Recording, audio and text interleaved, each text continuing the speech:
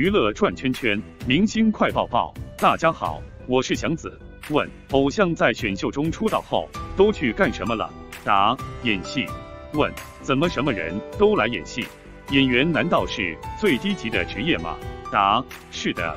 二零一八年四月，范丞丞在《偶像练习生》中拿下第三名，成功出道。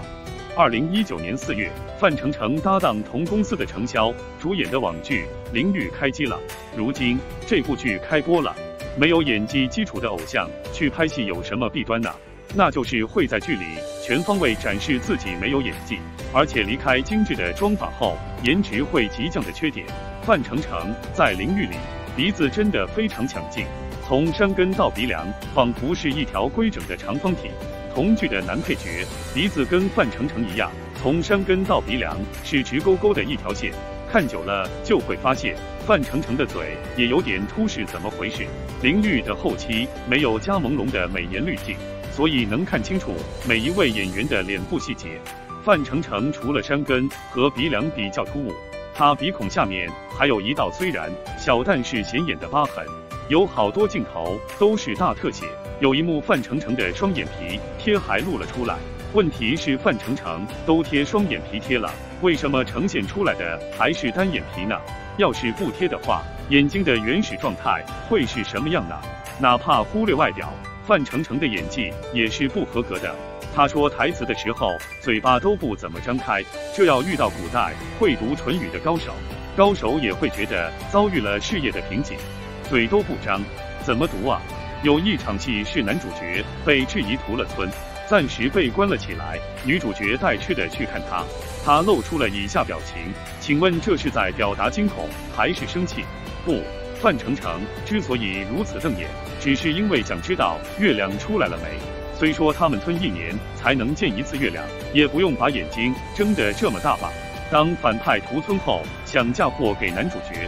范丞丞居然能无比平静地给好兄弟叙述这件事，背上了如此大的罪名，怎么脸上一点无奈和愤怒都没有？而男主角在正常和受重伤状态下的区别，就是看不出差别。辛苦化妆师了，要不是范丞丞嘴角有一些血，还以为他刚睡醒呢。范丞丞演哭戏的时候，眼泪缓缓从眼睛流下，不仔细看都看不到眼泪那种。配上这空洞的眼神，简直就是眼药水哭法的范例。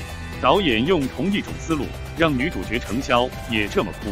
替掉眼泪的话，这只是一张毫无情绪的脸。程潇的演技也没好到哪里去。当她火毒发作，跌倒在地上时，表情看着超级正常的。不知道的大概只会以为她被冷到了吧。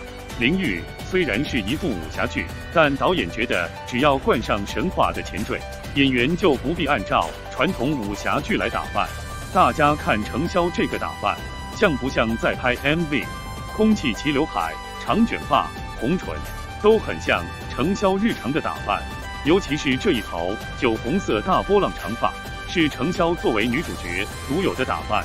剧里其他女演员都是黑长直，为什么程潇连拍戏都不能舍弃齐刘海呢？当风吹开程潇的空气刘海，露出了额头。大概就能理解他的执念了。值得注意的是，林玉的女配角也是一位偶像，曾经参加过《青春有你二》，不知道大家有没有印象？这位女配角就是葛欣怡，她在剧里可没有程潇的女主角待遇，没法用刘海遮住额头，所以被迫露出了圆规画出来似的发际线，跟戏外的颜值相比下降了不是一星半点。看来偶像拍戏时没有妆发和滤镜加持，真的分分钟会现原形。这篇报告完了，顺手点个赞，都是对我很大的支持，谢谢。